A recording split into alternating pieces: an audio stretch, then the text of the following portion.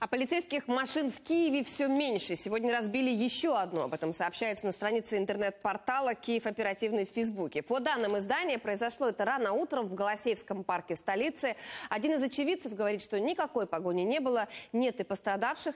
Мы обратились в полицию Киева, чтобы узнать все детали, но там отказались комментировать эту ситуацию. Я напомню, в конце 2016 года, согласно данным Департамента патрульной полиции Украины, только в Киеве были разбиты 150 машин правоохранителей из 235 существующих. А в конце прошлого года стало известно, что полиция закупила новые машины, около 600 штук. Один такой кроссовер обошелся государству более чем в полтора миллиона гривен. Как выяснили журналисты, в целом за авто переплатили более 9,5 миллионов долларов.